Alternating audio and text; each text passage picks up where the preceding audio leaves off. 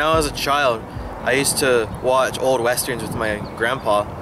Uh, he passed when I was young, so ever since he passed, I've just been connected with trains. Well, my mom, when I was in Austin taking pictures of planes, what she did was she gave me her camera, and then I moved to trains. So planes are gone.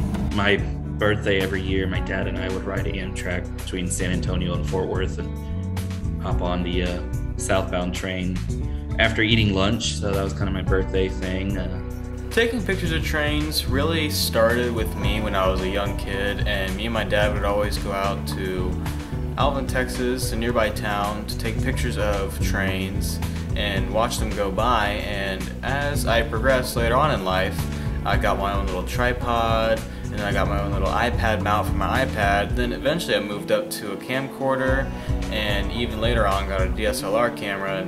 After my grandpa passed, it sort of died, but around the time of middle school, it sparked back up and got me to go out to actually see them.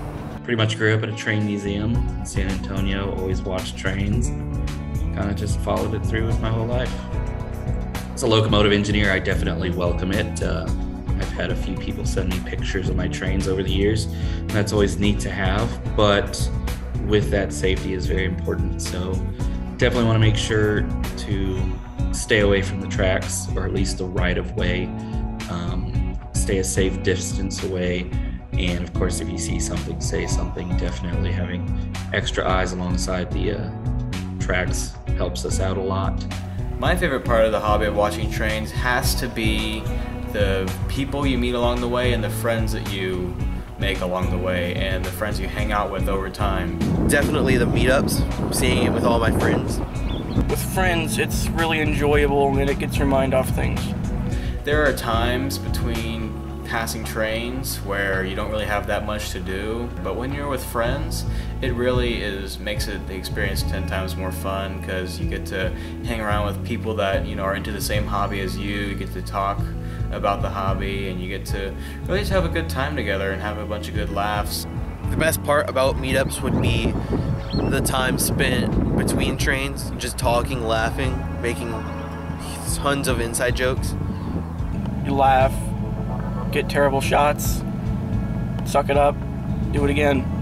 My photography has definitely gotten a lot better since I started taking pictures of trains because I've had many years of experience now and I've progressed not just from taking pictures of trains but also taking pictures of like you know everything in general like nature etc from a cheap point and shoot camera to a basically DSLR I've gotten a good eye. Still improving after six seven years of doing this. And now I really am starting to know the difference on how to work different DSLR cameras, how to set up manual settings. For a brief period in my life, probably a year or two, I did have a DSLR camera, but never really was my strong point. So I kind of gave that up early on. So I'm kind of, I guess you could call me a train enjoyer. Social media is definitely a big role of taking pictures of trains because not only can you just put your videos on YouTube and watch it. You people comment, subscribe, and like. But you can also put your pictures on sites like Flickr or Instagram or other sites that are social media related, and anything you can really think of. People make friends that way too, and it's really cool that everybody in the train watching community kind of comes together as one, and they all interact on the same platform and like each other's pictures and comment on each other's posts. Another good part about the hobby is uh, definitely chasing trains, as in going from crossing to crossing as fast as you can within, you know, reason. Railroad's been very good to me over my career so far. There's a lot of benefits. Uh, I would say pay is definitely one of them. Uh, not too many jobs can make six figures, especially without college degrees or you know some form of formal learning with that, I get to travel the country, see a lot of neat things. Um, travel by train is a lot different than travel by car. We get to see a lot of unique scenery and places that are almost uh, untouched by humans except for the train itself.